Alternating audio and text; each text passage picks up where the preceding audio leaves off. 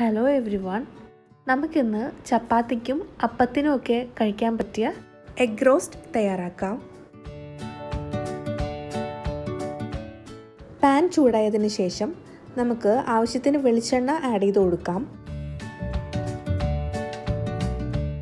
വെളുത്തുള്ളി ചതച്ചത് അര ടീസ്പൂൺ ഇഞ്ചി ചതച്ചത് അര ടീസ്പൂൺ ഒരു പച്ചമുളക് നെടുകെ പിളർന്നത് ആഡ് ചെയ്തു.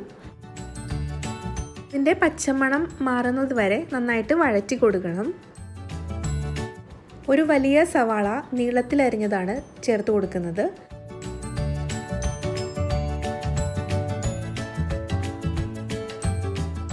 നന്നായിട്ട് വാടി വരണം സവാളയും ഇഞ്ചിയും എല്ലാം. കുറച്ച് കറിവേപ്പില ആഡ് ചെയ്ത് കൊടുക്കാം.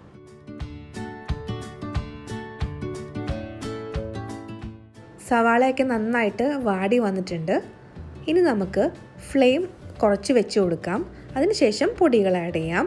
കാൽ ടീസ്പൂൺ മഞ്ഞൾപ്പൊടി അര ടീസ്പൂൺ മല്ലിപ്പൊടി ആഡ് ചെയ്തിട്ടുണ്ട്. ഇനി പച്ചമണം മാറുന്നത് വരെ നന്നായിട്ടൊന്ന് ഇളക്കി കൊടുക്കാം.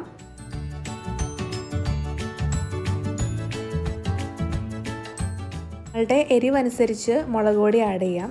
ഞാനിവിടെ അര ടീസ്പൂണിനേക്കാളും കുറവാണ് എടുത്തിരിക്കുന്നത്. കുരുമുളക് പൊടി കാൽ ടീസ്പൂൺ ആഡ് ചെയ്തിട്ടുണ്ട്.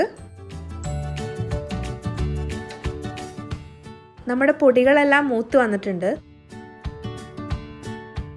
ഇനി നമുക്ക് ഒരു ടീസ്പൂൺ ഗരം മസാല ആഡ് ചെയ്ത് കൊടുക്കാം.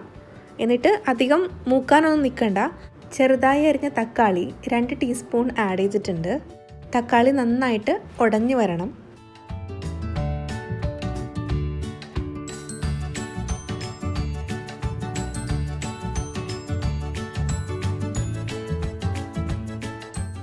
അരക്കപ്പ് തേങ്ങാപ്പാൽ ഒഴിച്ചു കൊടുക്കാം.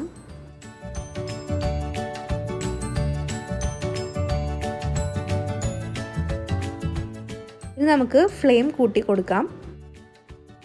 ആവശ്യത്തിന് ഉപ്പ് ചേർത്ത് കൊടുക്കണം.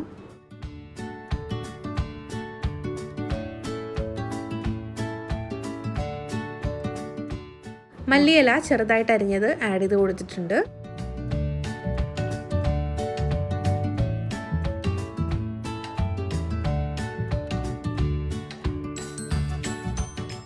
നമ്മുടെ ഗ്രേവിയൊക്കെ നന്നായിട്ട് കുറുകി വന്നിട്ടുണ്ട്.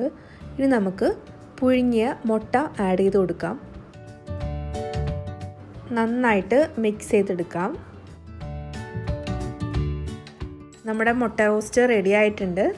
നമുക്കിനി ഫ്ലെയിം ഓഫ് ചെയ്യാം. ഇത് അപ്പത്തിന്റെ കൂടെയും ഇടിയപ്പത്തിന്റെ കൂടെയൊക്കെ കഴിക്കാൻ അടിപൊളിയാണ്. അപ്പോൾ എല്ലാവരും ട്രൈ ചെയ്ത് നോക്കണം.